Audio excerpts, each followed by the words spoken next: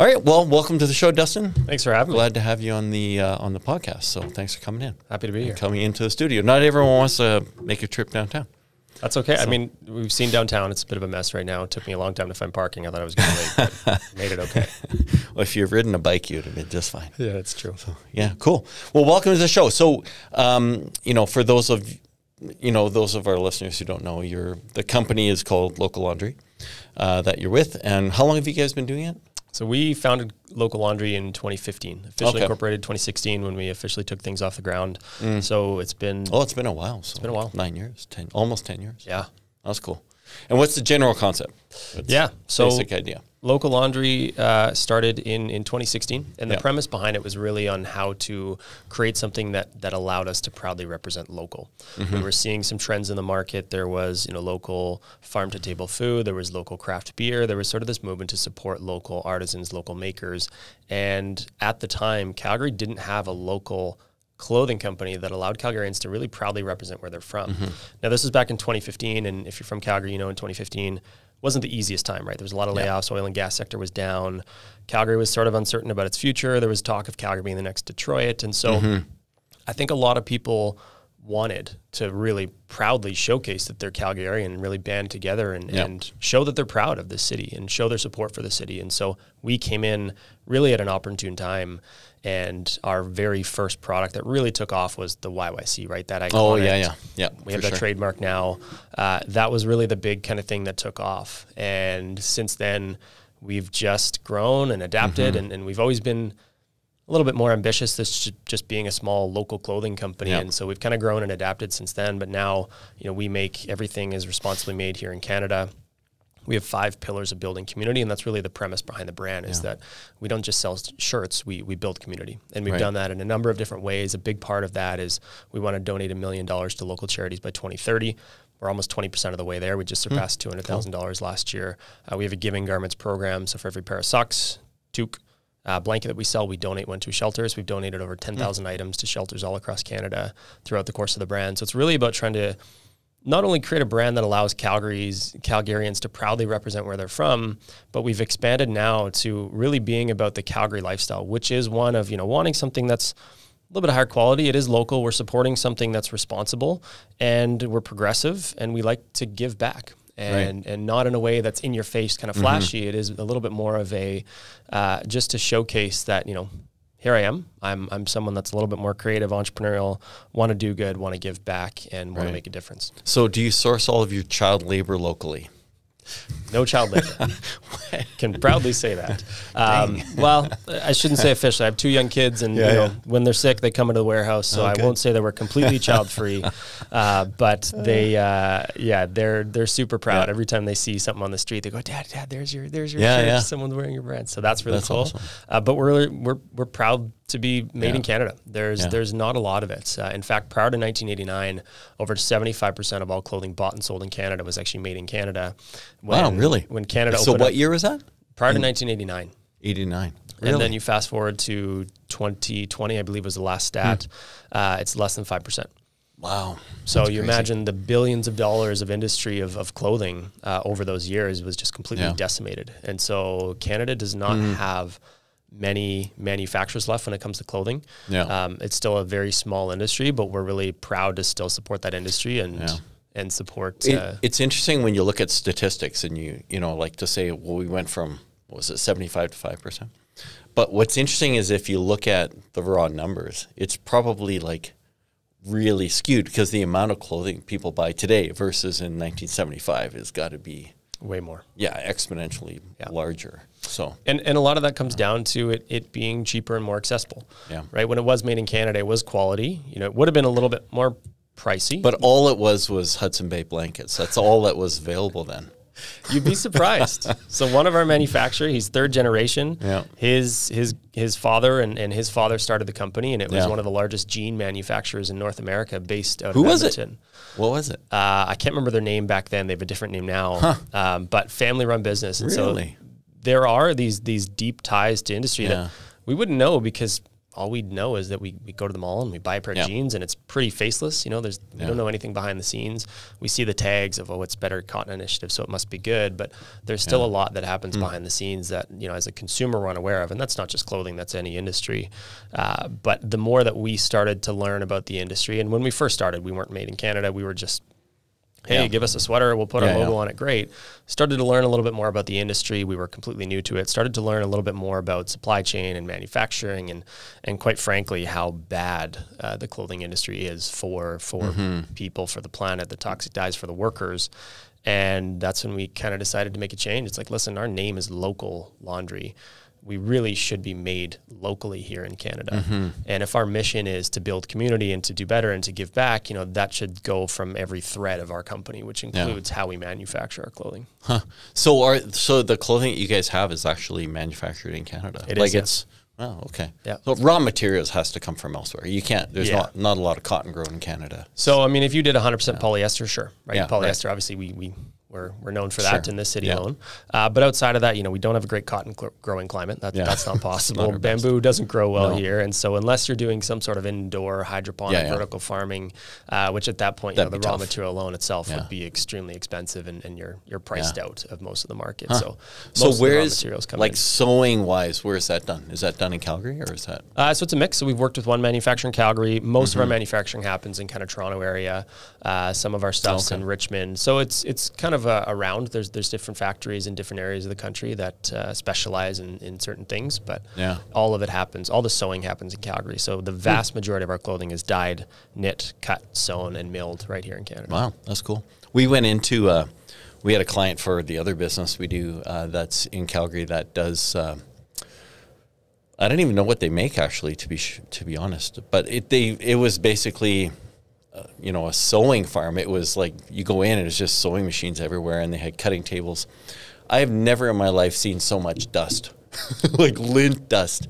It was like, like no exaggeration, like piled high, like an inch and like and more in some spots in that place. It was amazing. Yeah. So and they must be like be breathing it if you didn't have face mask on. So Yeah, it, it is. Um, not that cotton would necessarily wouldn't kill you, but Yeah, but it's Yeah. still, you know, You shouldn't be air breathing pollutants. everything. Yeah, yeah. Uh, a few of the factories we walk through, and it's pretty incredible to see the difference. But some of them, you know, you'll walk through, and it's like I, I would feel comfortable, you know, scraping my finger off the Yeah, floor and, and yeah. you know, licking it. Not that I'd want to, but yeah. that's that's kind of what you'd like to see, right? And that's one of the benefits too about manufacturing in Canada is you actually get to walk through the factories and you get to see the people making your clothes, and you get to have good, re- excuse me, good relationships Yeah. with with the factory owners. Yeah. and uh, you know that that's a pretty important part. Most clothing companies that that we know or that are kind of in our similar space, you know, they've never visited the factory. They have Mm-hmm. no idea what the conditions are. Uh, they get sent, you know, a brochure about how good things are, but you know, there's no spot check, there's no verification. So again, it gives us that that confidence knowing that we know the family, we know Yeah. the business, we know the conditions, we know the workers, Mm-hmm. and uh, and we have a great relationship with them.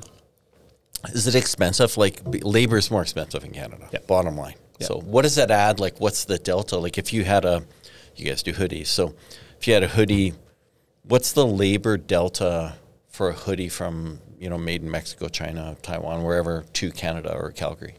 Yeah. We've never really run the numbers, and partly because I don't, I don't think we want to. Yeah. But I can tell you that if you take our, one of our T-shirts, for example, you know the, the cost of manufacturing that is roughly four to five times as much. Hmm. So I can go and get a, a blank white T-shirt for uh, twenty percent of the cost of what I'm paying for mine. Right. And a big component of that is obviously labor. Yeah. Is, is the biggest thing, um, but it's also the Canadian economy, right? Like we're paying Canadian rent in that facility. Right. We're paying Canadian overhead, Canadian staff.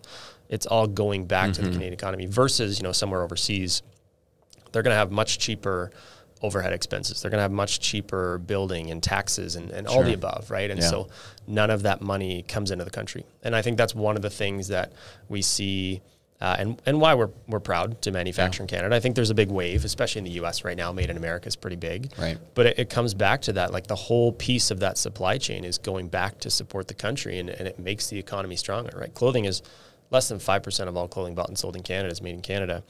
But that 5% contributes, contributes very positively to the overall economy and it helps strengthen and, and give diversity. So, uh, economically speaking, yeah, it's far more expensive to do it here, but that's not something with local laundry that we really want to change. Yeah, I guess the cool thing about it being local is that you have control over quality and, and you know the product itself and whatnot. I've always been shocked by, you know, anytime you you bring stuff from China and you just don't know what's going to show up, and if it shows up, you know, You that's, don't. That's the trick too. Yeah, and culturally too, that's one thing that we've learned over the years is is every every country is different culture wise in terms of how they do business, right? And China, uh, especially, there there's very much there's the importance of a relationship there, right? And so if you're going to fly and visit the factory prior to putting in an order, you're going to kind of go above the line a little bit in, in terms of how they're going to treat your product or how they're going to treat Yeah. it. If you're buying sight unseen, it's just straight transactional. Right. You know, culturally, there's not much there to it, and so you're going to get what you get. Yeah. Um, that's not to say that there's not high quality stuff Oh, sure, overseas, because there Yeah. are certainly things that you know we just don't manufacture well in Canada because. Economically, it just doesn't make sense. Right. Uh, there was a Calgary-based sock manufacturing company that Mm. just closed down recently, and part of it was, you know, they had these really beautiful but expensive machines from Italy, and the cost to maintain them and, and yeah. Just didn't work, right? Right. So that's not to say that there's not quality products overseas or there's not well-made products overseas, and and you know we we certainly can't do or buy everything in Canada, um, but it's just sort of going after that fast fashion, low quality, wear it once, twice, ends up in the landfill. You know, Yeah. that's one of the things that we're trying to at least be conscious of and avoid. Are you? Uh, is your? I'll call it factory. Is it in Calgary or where? No. Where do you have it? So we we don't do the manufacturing. Oh, okay, not in Calgary. Yeah. Okay. So we work with a number of different partners Yeah. across Canada. Is there, as you go across Canada, do you see, you know, differences in cost of, you know, there's cost uh, differences in rent and, you know, what people's expectations are income wise? Do you, do you feel that like when you're traveling?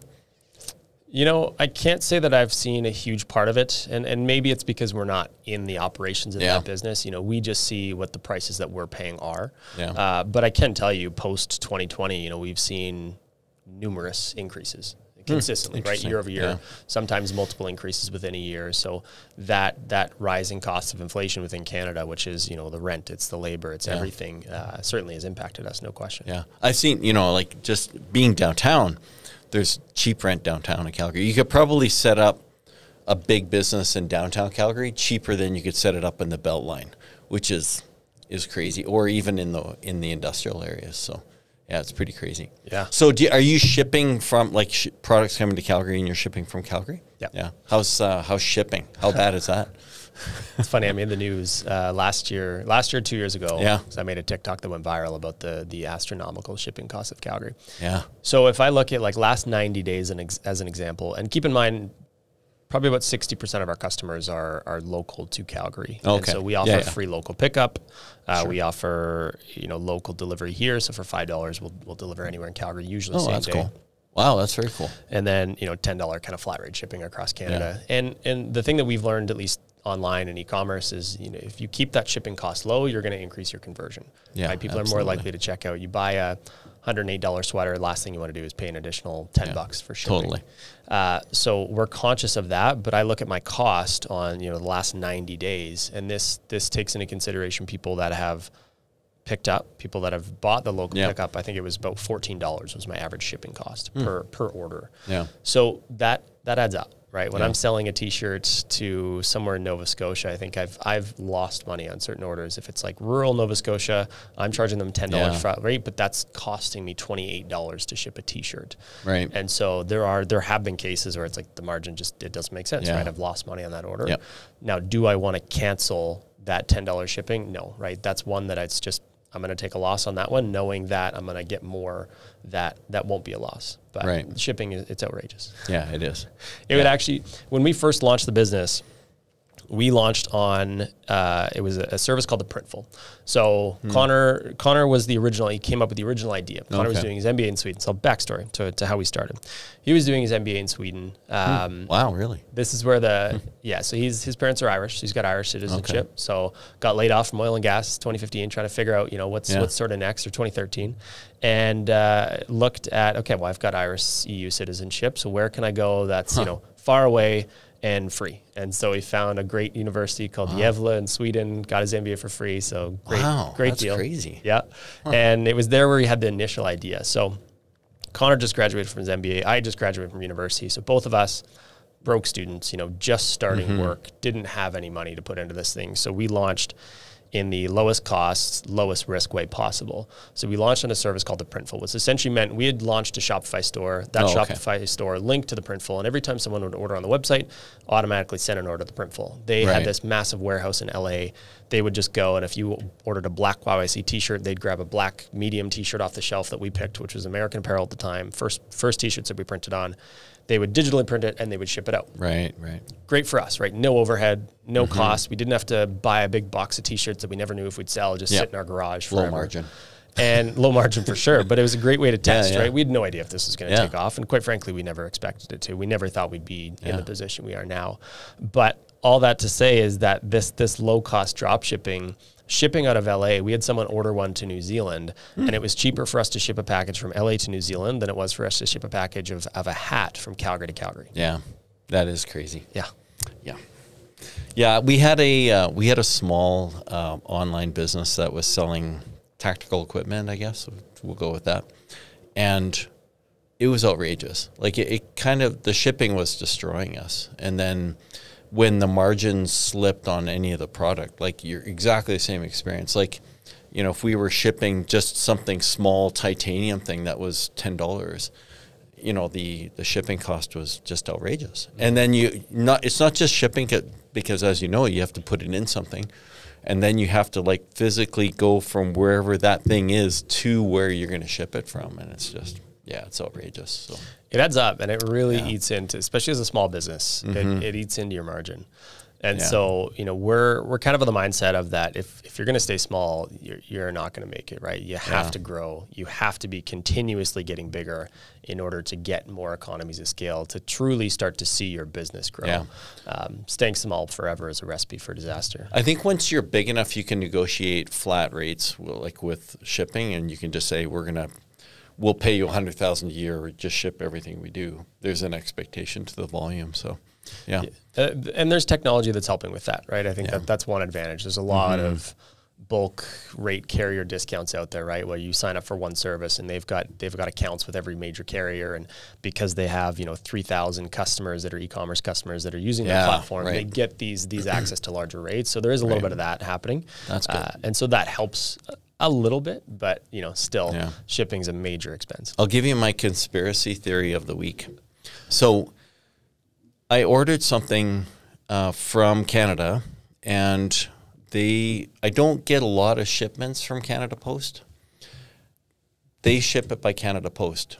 The next day, I had two text messages on my cell phone saying that the they and it wasn't from Canada Post, saying that my product couldn't be delivered. We weren't here or whatever. And I was supposed to click on a link. The next day, another two. The next day, another two. Like, how doesn't it weird that suddenly I'm on Canada Post and these, whoever it is, has my cell phone number?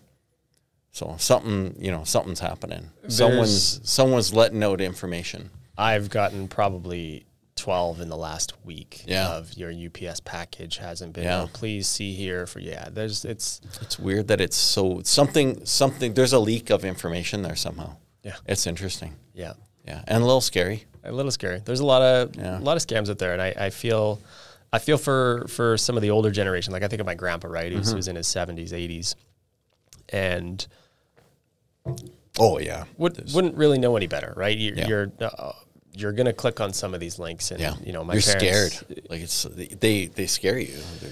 It, Yeah. They do, and you know we we've started to to play with AI in our business and use Yeah. AI in our business, but similar conversation Mm-hmm. around you know the the dark cases of AI and, and where that's going because there's some pretty uh, pretty wild implications so Oh far. yeah, no Uh, kidding. It, it is a powerful tool, and I will say we use it in our business all the time, and Yeah. it's it's essentially another employee that we can rely on. Right.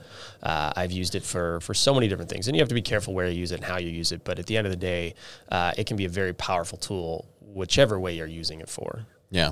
Yeah, we're seeing, well, in fact, it's funny. Every single podcast we've done over the last little while, it's like AI's coming up in the conversation. So it's obviously it's a big deal. is a big deal. it's not going away. No. So when you when you guys are one thing that's kind of was on my mind is like I have uh, you know I buy a lot of gym clothes all the time and sometimes I think man it would be cool to just have my own logo have my own my own size whatever do you guys and you guys do some customization how how deep into customization do you do Yeah, so we question of how deep. So I'll give the backstory of how we got here. Mm-hmm. So we started the company back in 2015, primarily e-commerce online. Yeah, yeah.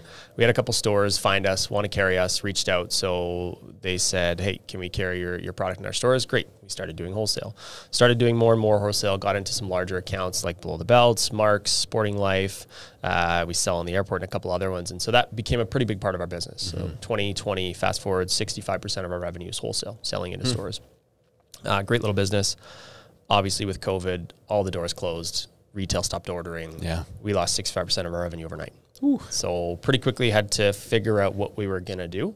And we went back to some of the things that we'd said no to in the past. And so we would always have customers reaching out to us saying, Hey, can I put my logo on your shirts? And we're like, no, we're a retail brand. You know, we, we don't really do that. That's, that's not our, that's not our thing. Sorry, we'll pass. Uh, and then obviously when you lose most of your revenue, you have to go back to some of the things you've said no Yeah. to in the past. And so restarted some of those conversations and say, Hey, remember that time you reached out and wanted to, Hey, do you still want to? And they're like, yeah, great. I'd love to. So we're like, fantastic. So we did a couple of those, did a, did a couple more.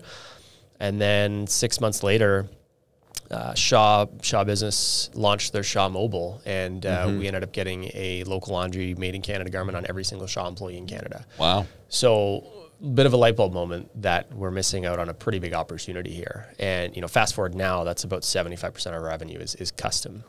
And so I think a couple things that have happened, but we've sort of noticed. I mean, that local trend has spilled over to business. Businesses now mm-hmm. want to have more local options, and they want to print their merch on on companies and products that more align with their values. Right. We're seeing that industry change. Right. No longer do they just want that cheap two dollar T-shirt that's going to be worn once and then thrown out yeah right? I think not only do companies have a responsibility within all their supply chain to be thinking a little bit more responsibly, but also their employees, right? Their employees or their their customers, they don't want to be wearing these things. They just end up in their pajama Yeah. drawer. So, uh, by being able to print on something that's local, that's made in Canada, that has a charitable component, and that's really high quality, they've noticed that their employees or whoever they give them to, their customers, are wearing them a lot more. Mm. And so it becomes a much better piece for that company from a branding perspective because their logo's being seen more. Their employees are super happy with the quality and it's it's actually something that they want to wear. And it just goes back to how that how that relationship is. And the, the employees see that well the company actually values us a little bit more Yeah. because you know we're not just getting cheap Yeah. crap that we're not going to wear. And so, yes, that customization has become a very big part of our business. Uh, and in fact, that's kind of the primary engine for growth. So, right we won't do uh, all the way down to like creating a spec garment for you, Right. Um, unless we're talking about you know a, a huge order of, of a thousand pieces, right? We've talked to Okay. we're right now we're working with um, a hotel that's opening in Calgary, and they. Uh, don't know if it's Calgary, but a hotel that's opening and they're looking for some made in Canada bathrobes. So that's one where it's, you know, it's an interesting project. We're actually going down the route of, of creating our own kind of tech pack and producing Yeah. it for them. Um, but yeah, just kind of depends on the product. Most of it is here's our, you know, signature black bamboo crew neck, very Yeah. soft, very high quality. We have them in stock. We'll print your logo on it and, you know, that's the order. Yeah. But we can do some pretty neat customization stuff. Yeah, that's cool. My son's in uh, this. This doesn't make sense in the conversation. Really, my son's in Guatemala, and uh, he goes to these. Uh, they're called uh, Paca, and they're this these little thrift stores essentially, and they have clothing there that's who knows. He hasn't figured out where it comes from, but he uh, he found a a uh, shirt that you guys had made, and he showed me online. He was, look at this, it's from Calgary, and You're he's kidding. found several items from Calgary that they look almost new, like, and that's the quality level. So, our best guess is that they're getting put into some donation thing somewhere, and then they're getting bundled and then shipped out to Guatemala, and they just distribute them for a buck, you know, or whatever it is. So, Wow. yeah, it's pretty surprising. So, like, you're popular in Guatemala now. Cool. Yeah. I so it's, it. it is funny though that that shirt came from Canada, from maybe Toronto or wherever. Probably came to Calgary. Someone put it in a bin. They were done with it. It gets shipped to Guatemala and now is on its way back. Wow. So it's had some had some travels. That's kind of cool. That is cool. Yeah, I'll have to. We'll get a picture of it when he's back. He's back in a few days, so Yeah. yeah, it'll be kind of neat. Oh, that's super cool. Yeah. So, so what else is on the go? So you guys, yeah, what else is cool and happening in the garment industry? Great question. Uh, so we we've always been pretty ambitious, right? We're young, you know, I'm 33, relatively young, we'll say. Uh, It's all over. A couple more years, it's over.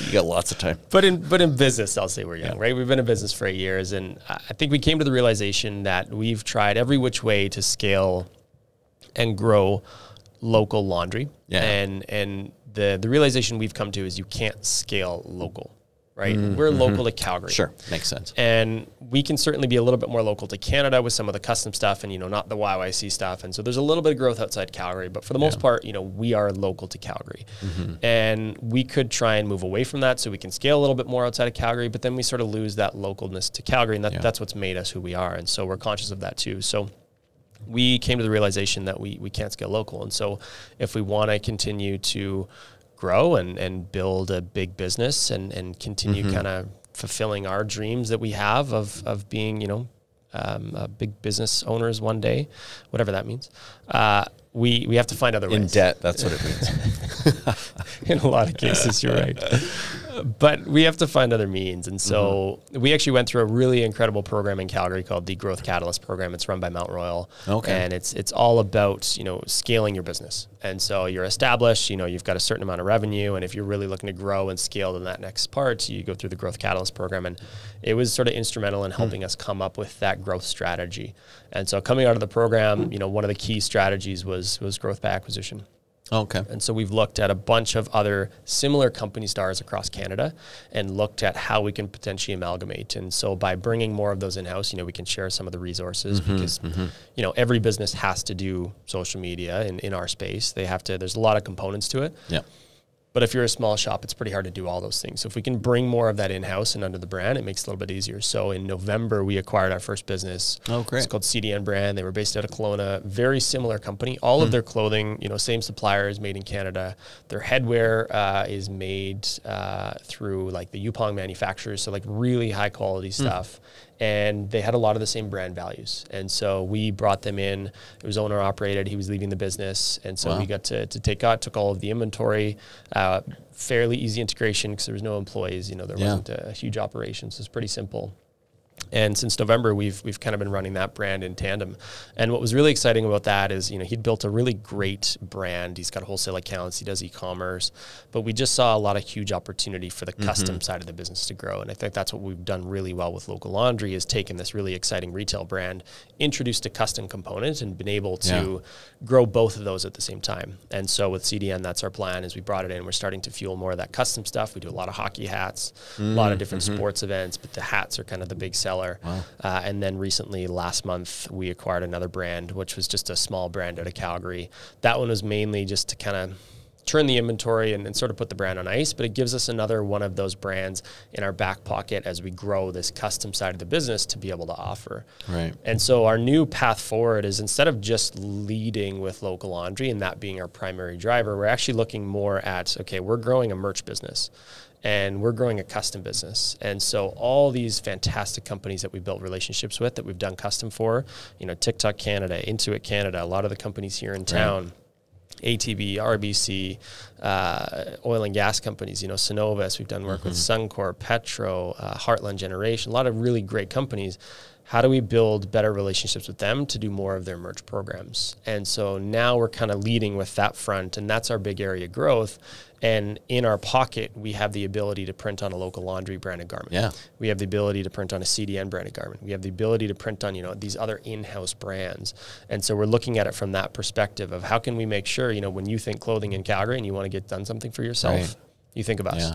And so, yeah, there's some content as part of that. You know, my co-founder Connor, most people know him through his crazy TikTok videos that he posts on LinkedIn. Mm-hmm. Yeah. And, you know, he's pretty eccentric.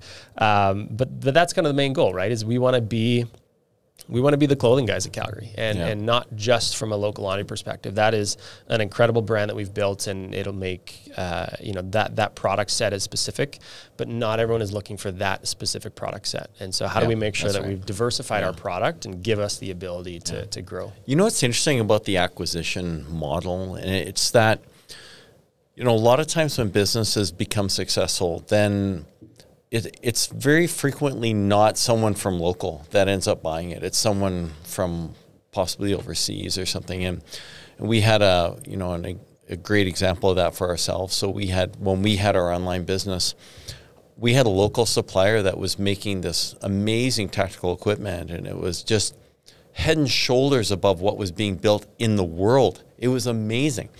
And then they got bought by a UK company. And then he kept a little bit and we kept going for a little while. And then that got bought by a US company and we were done. As soon as all that happened, we were out. Really? And we just couldn't, yeah, the costs went way up because now there's big corporate money and they have to make these huge profits to, to finance it. But it- it's an interesting opportunity that you'll have because then you can start looking at these strategic acquisitions throughout Canada. Maybe you go and buy something from the Yukon. That'd be really interesting because there's who knows of anything that comes out of the Yukon. You couldn't name one thing. Maybe caribou antler handles for knives or something. You know, bizarre thing, right?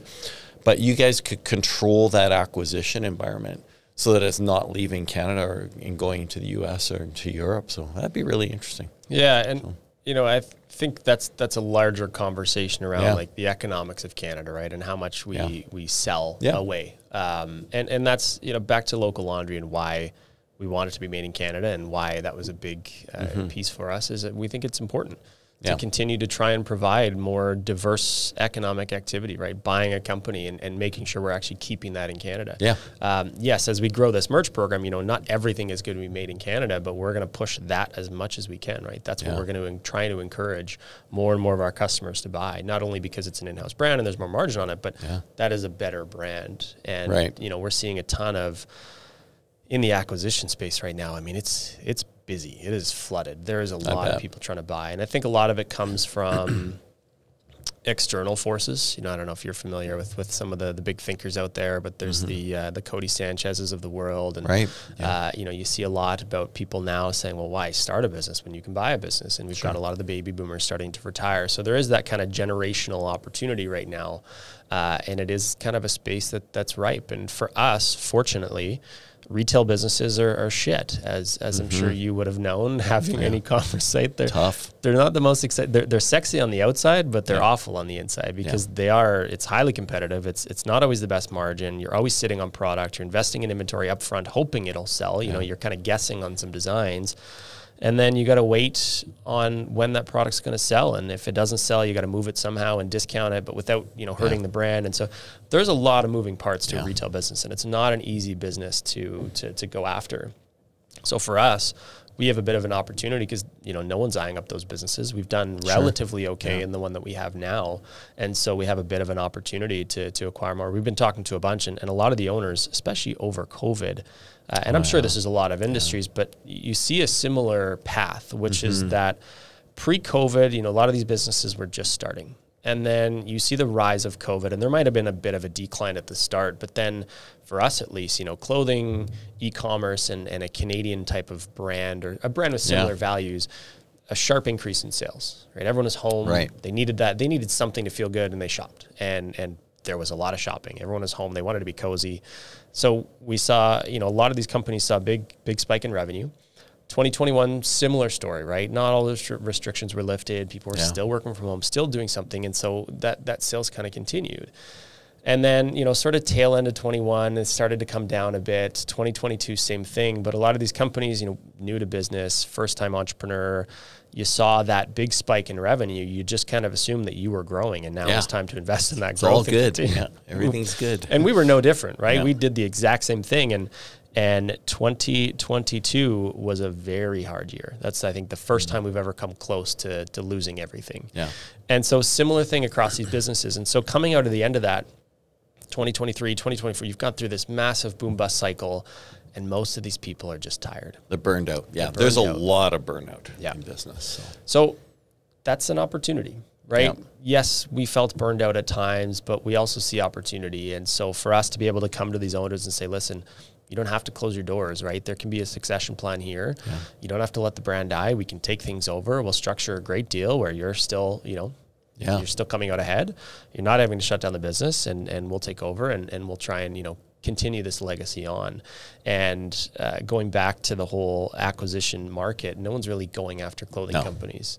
So it gives us a bit of a space for us to be able to, to make some, some pretty great acquisitions. Yeah, and it's some high altruistic level too. You're you're kind of maintaining Canada. I don't know what you even call it, but you're you have your arms around Canada, and it's yeah, kind of cool that you're able to do that. Yeah, and, and don't get me wrong. I think we'd love to find opportunity to expand. I mean, Calgary's a very, or sorry, Canada's a very small market. Yeah, You know, we're, we're, Yeah. we're smaller than the, it's slightly larger than the state of California. Mm-hmm. And so the opportunity into the U.S. is, is pretty big. We actually share a warehouse space with uh, with another company that's in e-com. They're called Devon and Lang, and they do men's and women's underwear. Okay. Uh, fantastic company, Yeah. fantastic product, but they have grown substantially over the past 12 months, and they're just starting to look into that U.S. market Right. and you just see that the opportunity is so so large and with the push you know again our position with the push into made in america or even made in canada made in north america uh, it, it does give a bit of an opportunity to try and Right. get more of our canadian product here our canadian company canadian brand and try and expand that more into other markets you- like you must sell some into the states. No question. It's probably not. It's probably a small percentage of the less than 5% Yeah. yeah That'd be neat to see that grow. But of course, it has barriers to making it grow. For sure, I Plus, your product's not in the U.S., which it's not barrier one, Yeah. getting it over the border. Well, the borders the border's tough. I mean, going to the U.S. not a problem, right? But I've actually paid more for duties on customer returns coming back into Oh, the country than yeah, the cost right. of the product itself. Right. Because I believe the threshold selling to the U.S. is eight hundred. So Okay. an American can buy eight hundred dollars worth of Canadian stuff without any tariffs. And I believe the threshold from U.S. coming to Canada is twenty dollars. No, is it really? So any any val- Wow. any content value coming across the border is subject to those tariffs. So e- even even the cost of a sweater, a single sweater, uh, sending to a customer, they returned it because the size didn't fit or whatever the case was. Coming back across the border, you know, I paid more for the cost of Yeah. that garment to get the return. Oh, that's brutal. Yeah, Then, then it makes sense to have some sort of physical entity in the states that you can deal with that stuff. yeah. Wow, that's crazy. That's the challenges of business, especially cross border. But wow, it's brutal. I was well. I keep going back to this little online thing that we did. We had a supplier in the U.S. that was dealing with these pretty high end titanium products, and so we would buy inventory from him. We'd, they, you know, we'd have a room full of boxes of his inventory, and you know, we'd pay to get it to come across the border, duties, tariffs, and all. And then we get an order from the same place that he shipped it from and it's like oh this is brutal like literally brutal. We have to basically ship it right back. And it could almost be across the street and it was so expensive. And if someone bought one thing ridiculously expensive. Like it was unmanageable at that point but whatever that was another challenge because you just didn't and it, it wouldn't have made sense to even do a deal with him and say listen i'll bring everything up wholesale. We'll just put it in a warehouse, and then we'll be your distributor in Canada because there just wasn't even enough demand in Canada to warrant that. Yeah. So yeah, it's tough. It is tough, and that's that's I think what we've come to realize is that that's just the game. Yeah, And you know, if it was easier, I think everyone would be doing it. But it is really, Yeah. Uh, it's really fucking. wouldn't hard it be neat if there was like a free trade agreement in North America? It would, Yeah. it would be nice. Yeah, I've heard of such a thing, but it's not real. Again, we're, we're in the advantage because Yeah. we have that eight hundred Yeah, threshold. south. We can Yeah. go south, but yeah, there's there's certain countries where it's a little bit hard. We just shipped an order to Peru. So we have a customer in Australia. Oh, okay. They're a travel company. They Hmm. ordered some of our, our stuff custom, and we shipped it down to Peru for one of their, their travel expeditions there. Wow, that's cool. And we're just going through that border process right now, and it is painful. Yeah, I bet. We're pulling teeth just to get it cleared by customs, and so you kind of see right some governments like that's. I, I presume that's some sort of protection act where it's like there is a long list of items that need to be done before we let this into the country because they Mm. would rather someone source from a local supplier versus like why are you shipping these t-shirts Right. in Canada? You can buy Sure. them here. And then the smaller the country gets, the more third world it gets, then you have corruption that gets tied into it as well. And True. You'll probably not ship much into those countries, I suspect. So. No, no, not something rare. we've had to, to deal with or, or Yeah. learn about just yet. Yeah, but it's cool. The quality's there, and I like, and I th- something you said, which was like, I think a lot of people get this is, it used to be like when you go back, let's go twenty years just for kicks, but you'd get these shirts out of you know just we're just kicking out merch, we're just like stamp, stamp, stamp, and the quality of the product was terrible.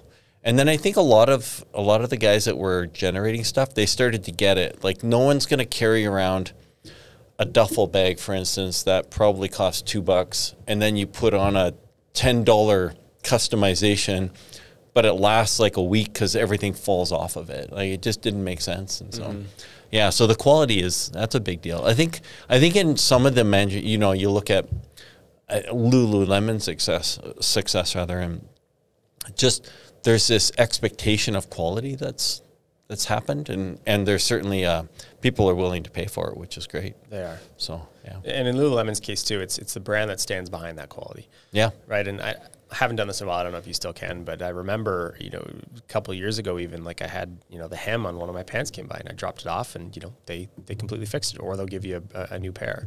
So there is you having. told me offline that those were tights. So there is that expectation from the consumer Yeah, of yeah. quality, but then you know the, the company has to back that too. Yeah. And you know it, it kind of goes back to you mentioned you know 20 years ago these, these Yeah. crap T-shirts, but 40 years ago they were good, right? You look Yeah, even at those true. you know cheaper, call them promotional shirts, and a lot of them were were actually made in Canada. Oh, yeah. You know even even the the kind of lower end, and I say lower end is because now they're they're lower end, but a lot of those like you look in you know my dad's closet or your your father's closet and you would still see clothes from 40 Yeah. years ago, 30 years ago, because they were made to last. Mm-hmm. Versus now, right? I mean, I remember buying a shirt from from Old Navy, and it was just a button up when I worked at the bank, and Yeah, within within months, like the armholes Oh, completely yeah. worn out. Yeah. And so that that's just kind of how things are made right now. And and you know, one of the things we've fallen back on is is we just we don't make good stuff anymore, right? It's so hard to come by and as consumers we sort of have this perception of you know we want to to buy something cheaper because because it's cheaper but you actually pay for it more in the long run Yeah. right like these these boots i have they're they're really high quality made in mexico great great entrepreneur who's made them I'll have them for years, Mm-hmm. and I might have to swap out the sole. My business partner Connor, same thing. He's got some from Alberta Boot Co. Okay. and, and we'll have them for years, right? But I've I've had other pair of boots that I've bought for you know call them 60, 80 bucks, and they last two years. Yeah. And then there's no repairing them because you know they're not quality enough to repair them, and so we're just kind of in this cycle of you know buy cheap, throw out, get new, buy cheap, throw out, get Yeah. new, versus this buy quality that's going to last you. And then there's also an industry in repair, right? That's an industry that's Right. almost gone is Yeah. repairing. Yeah. And again, I keep going back to you know strength of the Canadian economy, but strength of the economy in general is is there used to be corner stores of people that repaired stuff, right? And that that's Yep. sort of gone. It's And- shocking when you find that. Like, Yeah. you know, you find a shoe repair place and it's like, dude, how can you afford to stay in business? Yeah, and and I think that there's some of it left still, but I think that's a really big challenge as we look at the next 10, 20 years from an economic perspective is is how we're going to let that happen. And and uh, I'll use the example of Amazon. Right, I think my wife bought a, a mattress the other day, and it was for for one of our kids. You know, they grew out of the bed. It's bizarre. You can buy a mattress. got got this mattress, showed up the door. Next day, you know, fantastic from a customer experience, Yeah. fantastic experience, right? I got a bed next day, which obviously we Yeah. needed one. We were swapping beds for our kids who outgrew their bed. But you open up the package, and you know, it's from this this company that you know likely has no presence or Right. or entity or any sort of tax in Canada. Yeah. And so the rise of sort of e-commerce and, and these massive platforms also gives way to the ability for for other companies in completely other countries to, to now be able to use Canada as a base to sell products without really having to invest in, in people or infrastructure or anything here. And so again, back to the the, the importance of, of supporting local, uh, we're huge advocates for it, and and I think it's something that we have to be conscious of because Yeah. that that pretty quickly can erode the economy in general. Who are the other big like like is there other big Canadian companies that you know we should put on the wall and say this is the Canadian thing?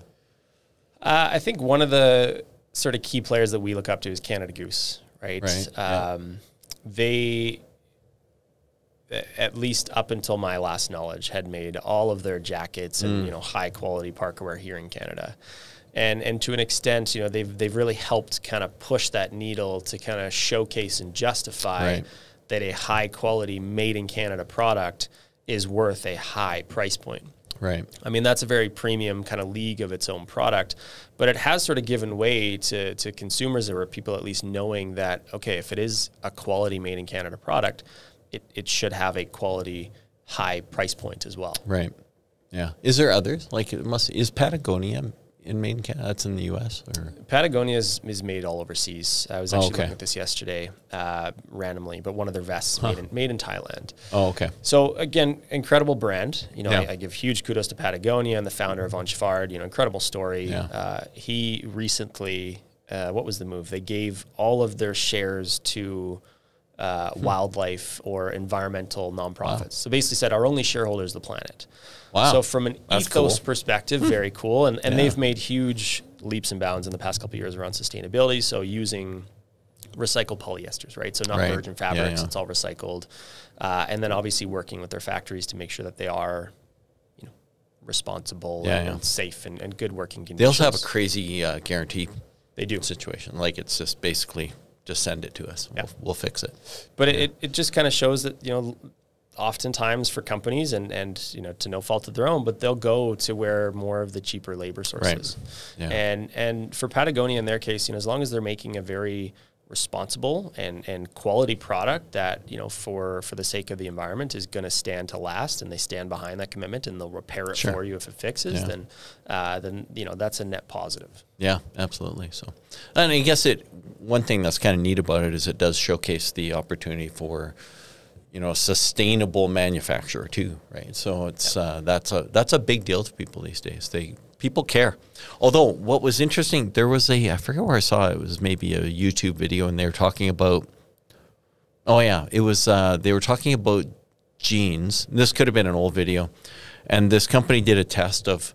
Did you see this? Like you may have seen it, but what they did was they had they had the exact same pair of jeans. One was manufacturing, it was either Canada or the U.S., and one was manufactured externally, like in anywhere else. Just pick one. And then when they took it to the store, and they were identical, like you you wouldn't be able to really identify a difference. They just had branded one on the on the shelf says made in Canada, and one just price tag, you know, not made anywhere in particular. And the guy said that the differential on the jeans, they they couldn't be more than 50 cents different. Otherwise, people would just go to the cheaper product.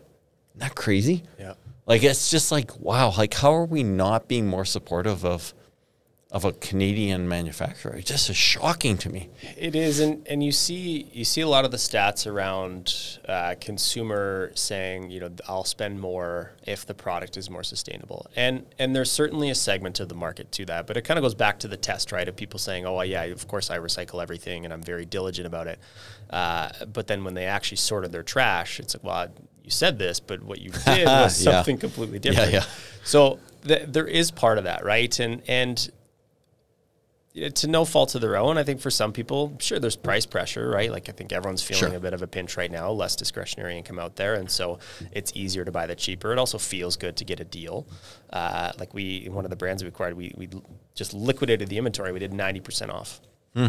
Massive sales because people just felt like they were getting a great deal, and they were right. It was ninety Yeah, percent yeah. off. So there, there's a lot of you know consumer psychology, consumer pricing, everything kind of into that mixture that that make those uh, that, that kind of. I, I find the stats just kind of funny, right? Because we could hang our hat on saying everything we're going to do is sustainable, but then if we have a cheaper toque that's you know just general Yeah, acrylic, which is you know synthetic based, that's the one they're going to go for. Yeah. So I think people like you to be more sustainable. They encourage you to be more sustainable. Like as a consumer, they'll they'll tell you to be more sustainable. But then when it comes to the buying patterns, you know, they're still going to do what's best for them. Yeah. And and that's Everyone else should buy the expensive one though. Right. Everyone else, but not me. So again, as a company, I think it is important that we are Yeah. We are being responsible. Uh, but at the end of the day, oftentimes you are you're, you're giving the consumers what they want, and Right. and there is a balancing act between being more sustainable or being more price conscious. And as a brand, that's why it's important to, to really drill down on who your customer is, right? Patagonia, yeah. they're not going after just the the generic shopper who's looking for a price deal, right? They're going after the people who truly either want to buy a premium brand because having a Patagonia jacket means you spent a lot of money on that jacket and it feels good. There's that. Yeah. But then there is also the environmental piece of that, which is, you know, I take my brother for example. Um, there is the side of, of customers that will proudly wear a vest that's duct tape, and they get credit for that because you know they're out Yeah, yeah. climbing, and it's like, oh, don't hurt the environment. Like you don't Yeah, need yeah. another one, right? So Yeah. th- there's knowing your customer, and and again, that's been an interesting thing for us acquiring these different brands. Is they are different customers, right? And what works for yeah. one is not going to work for the other. Yeah, you know, it's it, like it would be a fascinating study, like beyond the scope of what we're talking about, even. But you know, where you could take the brand name and then that get that brand name ultimately associated with quality, and that like I don't know how you do that other than you're gonna have to have, you know, 20 years later, you're gonna be able to say this was made in like back in 2015, like and look at it. Yeah. You know, it's going to be that'll be an interesting kind of trend. It'll probably take a long time to where someone can say this is a this is quality, and that's why I buy it because it's quality. It's, I, I don't even think it takes that long. yeah, Sadly, I think we're at a place, especially in clothing, where Yeah. quality can mean it lasts more than six months. I've worn it five times. This is unbelievable. which is sad to say, right? And and you know, yes, we we uh, will have stuff that will end up in in let's say Goodwill or someone's donating yeah. it.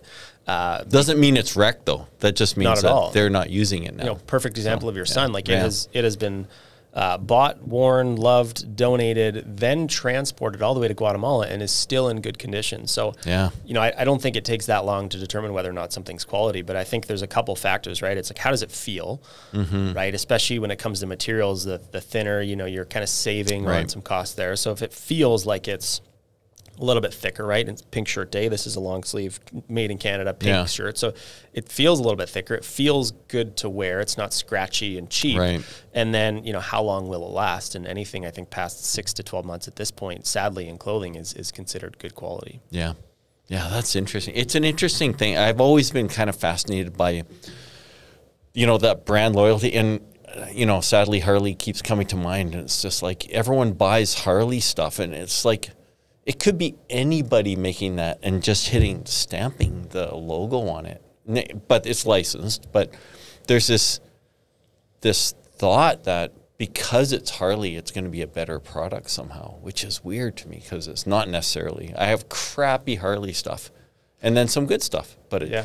but it, there is a there's certainly a conception that it's going to be a good, and it would be the same for a lot of luxury brands. Like a lot of product people buy that they spend way too much on.